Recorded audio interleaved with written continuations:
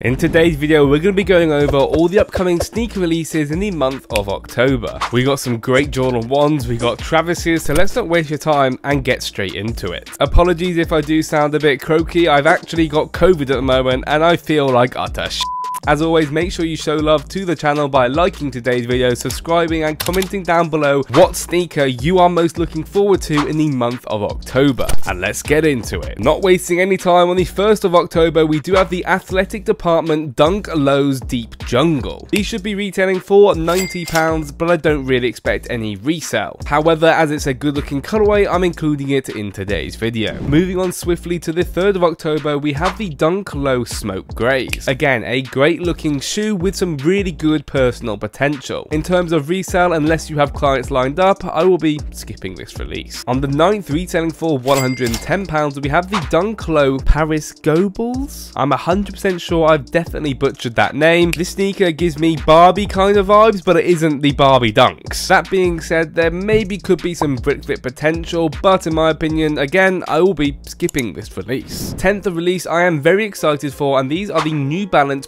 Protection packs. They are bringing out two new colorways in the khaki and the navy blue. Both are so, so fire. If you've never had a pair of New Balances, I would recommend at least trying one on. The protection pack quality and these New Balances are super clean and one of the comfiest sneakers I have ever worn. So again, if you haven't tried one on before, go to your local shop and try one on, and I think you'll have a very positive opinion on these sneakers. So for this pair, it's definitely a cop from me. On the 12th, we have another really good personal potential, and this is the Air Max 1 Olives. Air Max 1s, really comfortable, can be worn with anything, and they look great. Again, personal is there if you want one in terms of resale, not too much. But moving on to something that will definitely resell on the 13th, we have the Travis Scott Jordan 1 Low Golf sneakers. They are calling this the olive colorway, however, it's not the olives, this is the golf version, and it's a lot more a lighter brown colorway. I expect retail to be around the 140 to 160 pounds, maybe a tiny bit more because they do like to charge a little bit more for golf sneakers, but this is a great looking sneaker with some great potential of resale. I actually expect these to resell for above £400, £300 at minimum, but this will be a very, very difficult cop. Your places like the Nike Sneakers app will get these, but also other raffle retailers such as Size Launches,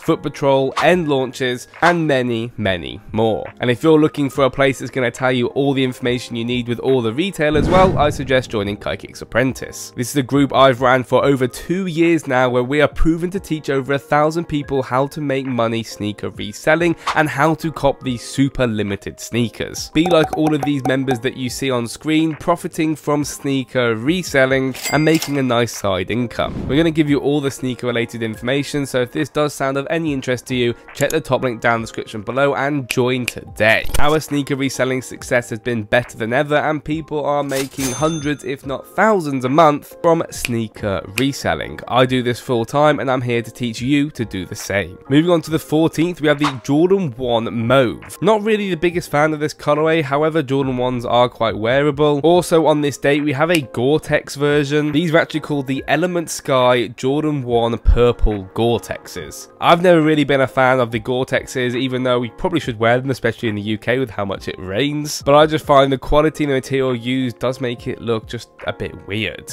But another banger straight after that on the 18th of October, we have the Jordan 1 High Satin Reds. Now we are talking. This Jordan 1 High is a beautiful looking colorway. I don't expect these to perform as well as the original satins. However, this satin red Jordan 1 is super clean, a great personal to have, and a great sneaker collector's item. I will be definitely copying this sneaker for personal and expect all of your main retailers to get these. In terms of the resale predictions, I can see some brick flip money to be made made, hopefully around the £180 resale mark. But if you don't want to risk it, I would suggest skipping this release unless you have the capital or you have the time to wait to sell this sneaker. I do believe you won't be able to sell this sneaker instantly for a good profit and it may take you a bit of time. But for me, it's definitely a cop and it's definitely one I've got to have in the collection. On the 24th, we have a collab coming and this is the Chris Paul Jordan 1 Lows. Is it just me that thinks this sneaker is beautiful? The quality on this sneaker, the different sort of details that you can see, and overall just a sneaker that is out there but not doing too much. With it being a light grey shoe, it's quite wearable but also it's quite out there and looks different to a normal pair of sneakers. With that being said, unfortunately it is a increase, retail being at £145 and I expect this to be because of the small details and the quality used. With that being said, I actually can still expect some resale money, I can expect definitely some brick flip or maybe even some more. I'll be sure to update you guys in Kaikicks Apprentice when we get some more information and some updated retail predictions. And on the 25th we have the Jordan 1 Low Neutral Greys. Again, a very, very clean looking sneaker, but not as good as the Chris Pauls in my opinion. This also does have an increased retail expected to be £150, which just makes no sense to me. In terms of resale predictions, again, brick flip money at best, or if you have the clients for these. That is all the confirmed releases so far for the month of October, however, always more pop up throughout the month. And if you want to be notified for everything sneaker related and all the different releases that do pop up over the month, well, Kaikicks Apprentice is there for you. What is your favourite sneaker releasing this month? Please do drop it down in the comments, guys. Again, sorry if my voice is croaky, I've really not been feeling the best recently, but I hope you guys have enjoyed today's video. Subscribe to the channel if you want to buy any sneakers off me, kaikicks.co.uk is a place to go, 100% authentic and hassle-free for you. Any questions you have, drop them down in the comments or message me on Instagram, kaikicks.uk. Good luck all the releases, and I'll see you guys in the next one. Peace out, guys.